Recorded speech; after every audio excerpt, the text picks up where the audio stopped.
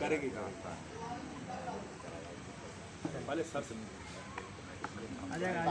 तो क्योंकि तुम तुम पास कर ली ना। सिर्फ़ तुम्हारे बात बोलेगा ये बोलेंगे तुम